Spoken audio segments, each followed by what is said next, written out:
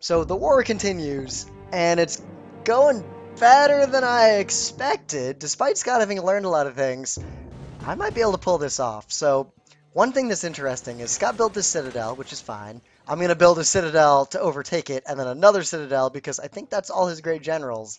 And I have two great generals. It looks like he just barely killed this swordsman and he didn't have any units free left to take this great general. So that actually is a huge boon. It means that he spent seven or eight attempts, because I know he replays his turns over and over again, trying to take this great general, and he couldn't, and he left it there. That's a good sign. That implies that he does not have any more military than what I've already seen him display. So, the other thing that's really good for me is that despite him putting a citadel here, this is a pretty heavy choke point so he can't really easily bring a lot of arms to bear. Also, some moderately powerful barbarians are hanging out up here, which are no threat to me, because you might have noticed this city, other than this one plantation here and this one lumber mill, has got jack all for improvements. And I didn't need any improvements because, as you might recall, it's not showing the stuff for whatever reason, this is Lake Victoria.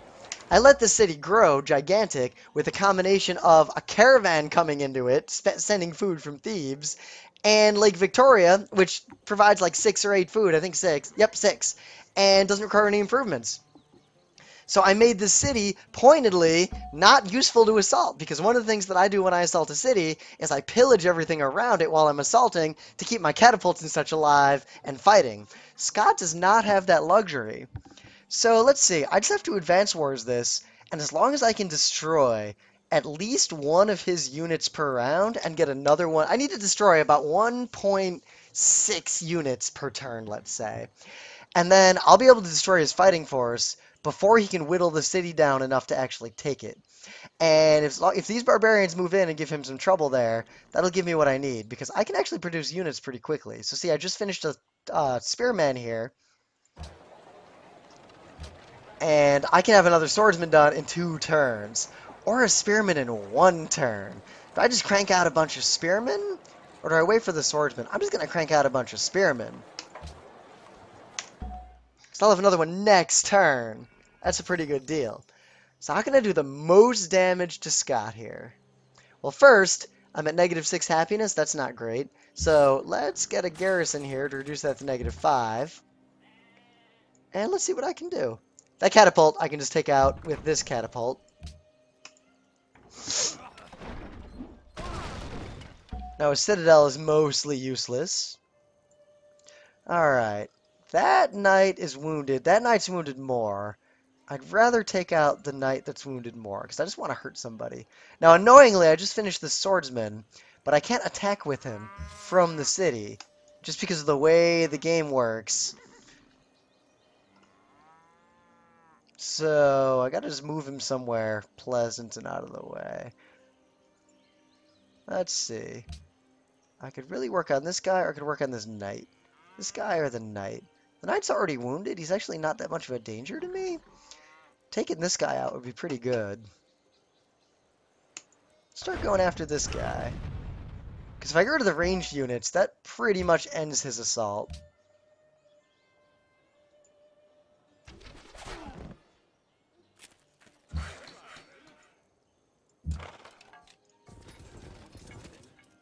No, I can't quite finish that guy off.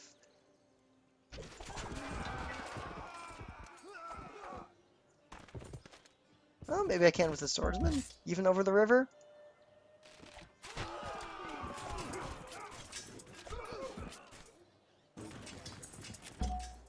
Alright, not too shabby. That guy's probably going to die now. See, I'd love to just attack right here, but I can't. So I'm going to move this guy here. Nope. Actually, I wanted him to stay in the city. I want to move this guy here. And let's just get you out of the line of fire. I want you to start doing some useful stuff. Oh, I forgot I got my chariot archer here. He's not that weak.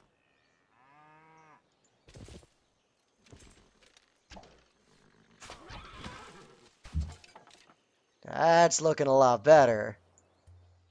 And I got this spearman, who can't attack anything yet, but I can just get him up to the front line and ready. Have another Spearman in one turn. And what can I build here? Can't build anything super quick.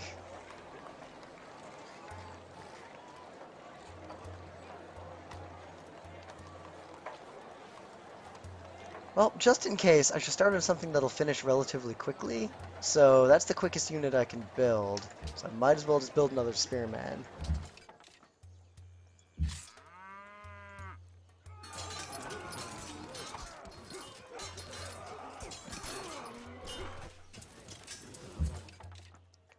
That, all told, not too bad of a turn. I'm going to move this guy back onto the full health Spearman rather than build a citadel.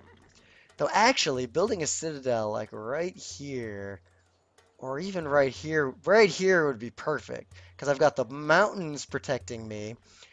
If I leave the, if I put the citadel here, it can attack these plains easily.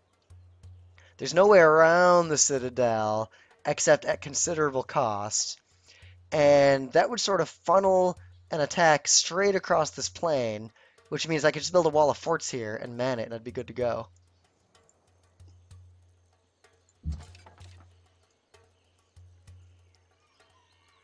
Might as well keep the wall up. That's a pretty good turn. I don't think I can do much better than that.